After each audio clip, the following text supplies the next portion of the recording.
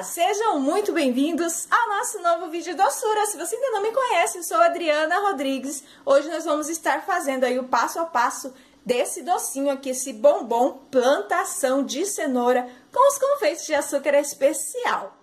Fica essa fofura aqui e é muito fácil de fazer. Mas primeiro eu quero pedir para você me ajudar aí a chegar à nossa meta. Nossa meta aqui é 100 mil inscritos agora no ano de 2019. Ainda temos muito tempo pela frente, sim, mas ainda falta muito para alcançar nossa meta. Então eu preciso muito da sua ajuda. Compartilhe o vídeo, deixa like Principalmente deixa comentário também, que o comentário e os likes fazem com que o YouTube mesmo entenda que o vídeo é bacana, que o conteúdo é legal e que ele, ele mesmo começa então a divulgar o vídeo para outras pessoas. Combinado assim? Agora sim, vem comigo para a receita. Nós vamos começar preparando o nosso recheio. Recheio esse que é super fácil, que vai ser uma ganache. A gente vai precisar 300 gramas de chocolate nobre, pode ser o de sua preferência, ó, leite, blend, meio amargo ou até mesmo o branco. Porém, se for o branco, precisa colocar 400 gramas no lugar dos 300. Mas, aqui a gente está usando o chocolate blend, então a gente tem 300 gramas. Eu já deixei derretidinho aqui. E uma caixinha, que é o equivalente a 200 gramas de creme de leite, esse creme de leite em temperatura ambiente. E é só misturar os dois. Lembrando sempre, né, realçando, sempre que for colocar creme de leite ou leite condensado ou qualquer outra gordura, tem que utilizar o chocolate nobre. E aqui é só misturar os dois depois de misturado, deixar descansar.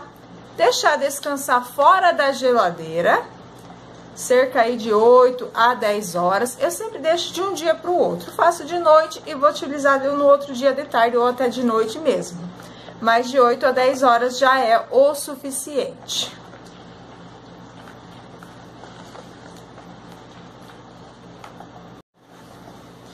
E olha aí, já está prontinho. Então, como eu falei, vou tirar desse potinho aqui colocar num outro potinho. Fechar bem e deixar descansar aí fora da geladeira. Eu derreti aqui uma cobertura fracionada meio amargo. Se você preferir, também dá pra fazer com chocolate nobre, mas quando é esse tipo de docinho, eu costumo usar a cobertura. Tenho aqui a forminha, que é a forminha de vasinho, né? É a, a de referência 5060 da BWB mas tem outras marcas também que tem esse modelinho aqui de vasinho, ó, que a gente vai fazer, então, a plantação de cenoura, né? Vou colocar esse chocolate aqui, essa cobertura, num plastiquinho pra ficar mais fácil de estar tá colocando na forma, mas você pode estar tá colocando com a colher também, se preferir. Vou colocar o chocolate até a marquinha.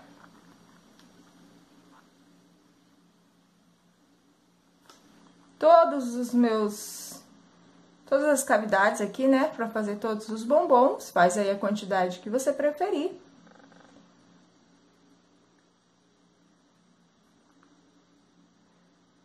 Pode sobrar, só não pode faltar, né? Eu sempre falo, melhor sobrar que a gente tira a rebarba do que faltar, que não vai ficar um trabalho, um acabamento bonito, né? Sempre dá aquela batidinha, indiferente do qual chocolate você usar, qual tipo de forma você usar, tem que dar essa batidinha para tirar toda a bolha de ar e o chocolate ficar uniforme.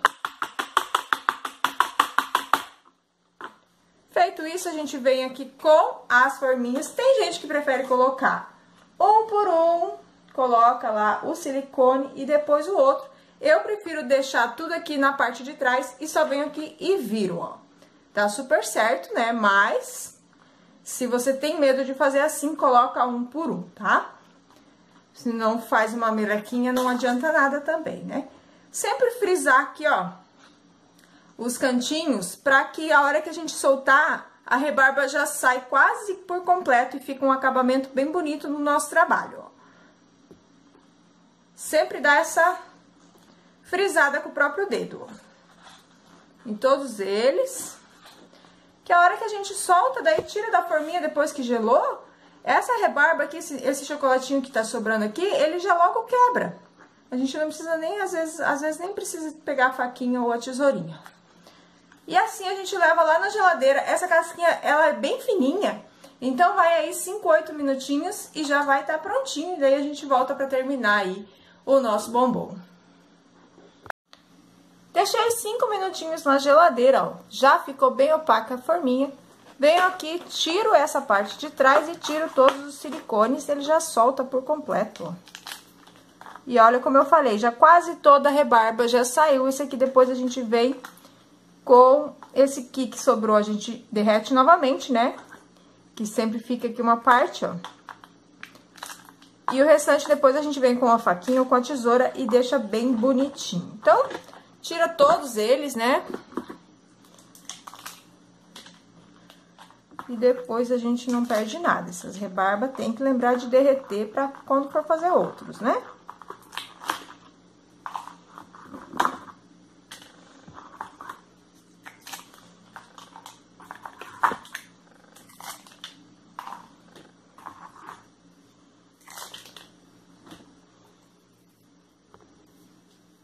tesourinha, pode ser com a faca também. E só tira o restante da rebarba, ela sai com facilidade. Inclusive, se você passar o dedo assim, ó, ela já vai sair, ó. Vai passando de leve que ela sai também. Então, o jeitinho de tirar a rebarba fica aí a seu critério também, né? Eu gosto muito de utilizar a tesoura, então eu tenho aqui duas tesouras na minha cozinha, porque eu uso bastante.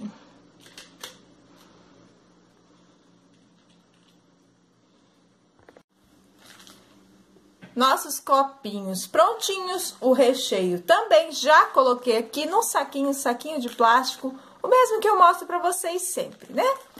Vou estar tá utilizando também floquinhos de chocolate, que é aquele granulado mais quadradinho, né? Mas você pode estar tá usando o granulado tradicional também. E as queridinhas, as cenourinhas cenouras de açúcar é lá do Papel Arroz Especial, tá? Papel Arroz Especial é www.papelarrozespecial.com.br o site para você estar tá comprando.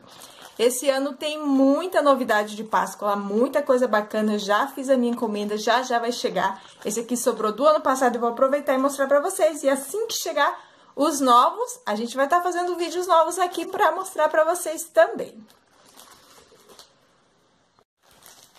É muito, muito facinho. A gente vai vir com o recheio, vai encher os copinhos quase até a borda, ó. Deixa um espacinho pra gente estar tá colocando o granulado e depois poder colocar nossa cenourinha, né? Que vai parecer que ela tá plantadinha.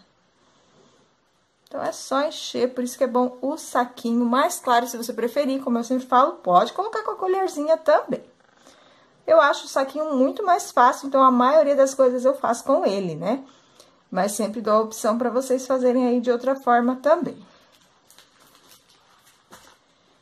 E agora a gente vai colocar os granulados. Eu vou usar uma colher e vou deixar aqui em cima do meu pratinho, porque eu sou desastrada e bem provavelmente vou deixar um pouco aí, né? Que, olha, tá pra nascer alguém mais desastrada que eu. Olha, eu não disse? Já derrubei. Aí, esses que caem depois eu posso estar reutilizando, né? Por isso que eu coloco, deixo em cima da bandejinha. Vou colocar, daí ele vai remeter aí a terrinha, né? Ou você pode estar colocando também um granuladinho verde que vai remeter a grama. Mas eu acho que na plantação a terrinha cai super bem também. Não é mesmo? Deixa aí nos comentários o que, que vocês estão achando. Falta um aqui, estava esquecendo desse. Agora é a vez dela, a cenourinha. A minha câmera não está quase focando, não sei o que está acontecendo. Depois eu vou gravar mais de pertinho para focar bem. E agora é só, ó, colocar a cenourinha aqui no meio, ó. Que daí ela vai ficar, ó, como se estivesse nascendo, né, a cenourinha. Uma parte para dentro, uma parte para fora, ó. Lembrando que é confeito de açúcar, então ela não vai durar muitos dias assim no, no recheio, tá? Porque o recheio molinho vai amolecer e acaba amolecendo a nossa cenourinha. Então, é bom fazer aí com dois, três dias de antecedência. Até porque ele fica aberto o nosso recheinho, né? Então, re... sem a cenourinha, ele dura até 5, 7 dias fora da geladeira, se você guardar numa caixinha bem fechadinha. Mas com a cenourinha, então, dois, três dias ela começa a amolecer. E olha como tá ficando fofo, gente. E fácil, né? Vocês viram como é fácil de fazer? E é um docinho diferente. Às vezes a pessoa quer um docinho para presentear várias pessoas, fazer uma lembrancinha, dá para colocar em caixinhas de presente, né? Dar um para cada um também, ou até mesmo fazer um aniversário, uma festa aí na data da Páscoa, né? E ter esses docinhos na mesa. Fica super chique também. E olha aí, coloquei então nas caixetas para bombons. Fica super delicado, lindinho. Olha isso, gente. E fica bem gostoso, né? Cheio de chocolate. É bom demais. Mas você pode estar fazendo em outros sabores aí, pode oferecer para o seu cliente a mesma lista de sabores que você costuma vender os bombons ou as trufas, né? Dá para fazer nesse também. Porque o que vai contar é a decoração mesmo. Então, esse recheio, ele vai render mais ou menos umas 40 unidades, tá? Esse recheio que a gente preparou, porque esse copinho não é muito grande. E a validade é como eu falei, sem a cenourinha, vai aí de 5 a 8 dias se você colocar numa embalagem bem fechadinha, fora da geladeira, porque a gente não fecha essa base aqui, na verdade a gente coloca só o granuladinho, então não é tão protegido. Então eu aconselho aí 5 dias se for bem fechadinho, um ambiente fresquinho, arejado, tá? E a cenourinha, como ela é de açúcar, em contato com o recheio, ela vai amolecendo. Então aí em dois dias mais ou menos, ela vai dar uma amolecida e pode não ficar tão bonito. Então, caso você queira fazer uma produção maior, que você queira começar uns dias antes, prepara primeiro os bombons e deixa para colocar a cenourinha na hora da entrega, tá bom?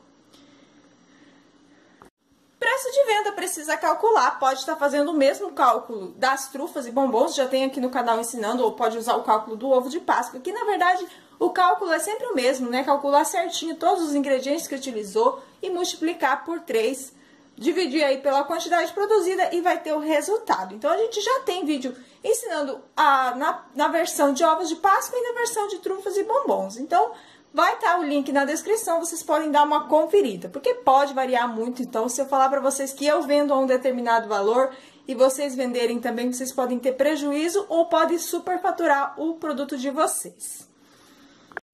E era isso que eu tinha para hoje. Eu espero de coração que vocês tenham gostado e que vocês façam aí também um beijão. Fiquem com Deus e até o próximo vídeo. Tchau!